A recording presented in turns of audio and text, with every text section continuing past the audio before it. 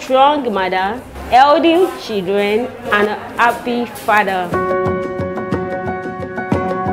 We are here to ensure that as you're pregnant women, in fact, as you are a mother, you know you're the one that keeps your home. You're supposed to ensure that everybody and everywhere in your house is neat. clean. Ta ce yadda kuke da cikin nan kuna buƙatar tsafta saboda idan kuka yi shi shi ma zai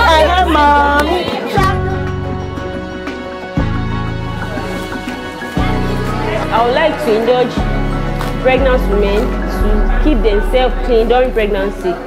Every cleanliness is very essential. Our body, we clean our body to keep us from diseases. We clean our environment to keep us away from malaria and, and cholera and co.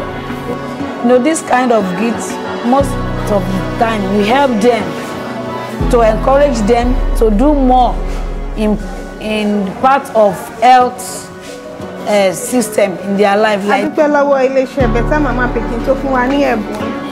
Iléeṣẹ́ wa máa lọ sókè sí o mo fẹ́ ẹ̀bùn tí wọ́n fún mi mo fẹ́ sọ bí n ṣe máa máa lò ó. Water bottle mo máa fi máa mu omi tó mọ́ gara omi tó mọ́ dáadáa so that máa lè wà hydrated. Wọ́n dẹ̀ tún fún wa ní ọṣẹ ọṣẹ yìí mo máa jẹ́ kí mo máa máa lò láti fi fọ aṣọ láti fi fọ abọ́ láti make a environment may clean. Wọ́n dẹ̀ tún fún wa ní ọṣẹ ìwẹ̀ so that mo máa fi wẹ̀. Gbogbo àgọ́ ara mi máa mọ́ gara láti sá fún ìdọ̀tí tàbí àìsàn kan tó lè affect mi àbí ọmọ mi. Ẹ ṣé o lẹ́ẹ̀kan sí my name is Oludele Taiwo, officer in charge of Ajibode PHC in Akinyele local government.